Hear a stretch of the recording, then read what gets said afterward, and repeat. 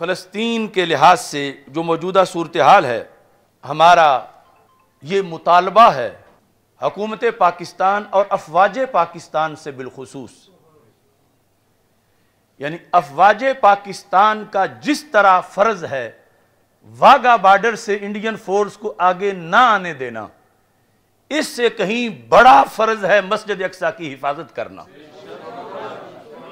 तो तरजीही बुनियाद पर ऐलान किया जाए कि पाकिस्तान की फौज बैतुल मुकद्दस की हिफाजत के लिए पहुँच रही है। आप सब ये तकाजा करते हैं? और इसके साथ आपके मशवरे से अगली बात, और अगर इनकी कोई मजबूरियाँ हैं तो रब काबा की कसम हमें तो इजाज़त दे दें। यानी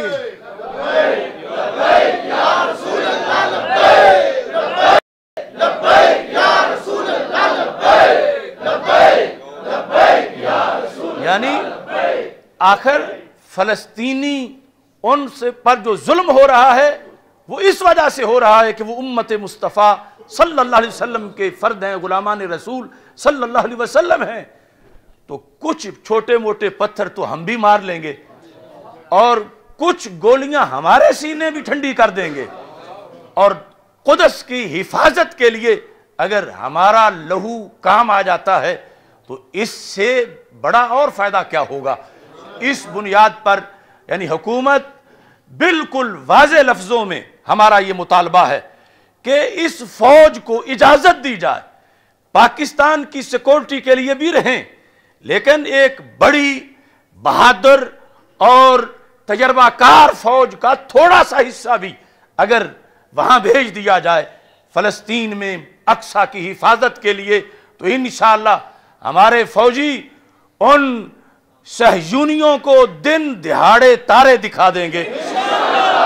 और अगर अगर ये फ़र्ज़ किया नहीं भेजना चाहते, हालाँकि ये इस्लाम की फौज है, इसका फ़र्ज़ पाकिस्तान के बॉर्डर के साथ साथ इस्लाम के बॉर्डर पर भी पहरा देना है। ज़रूर भेजना चाहिए, अगर वो नहीं भेजते तो कम अज कम हमें तहरीक लब्बैक या रसूल अल्लाह सल्लल्लाहु अलैहि वसल्लम को ये इजाज़त दे दें। अल्लाह की इज़्ज़त की कसम।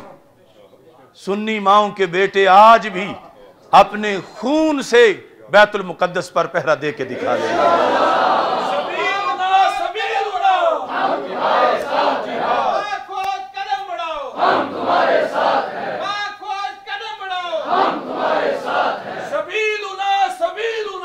अल जिहाद अल जिहाद। सबीलुना सबीलुना।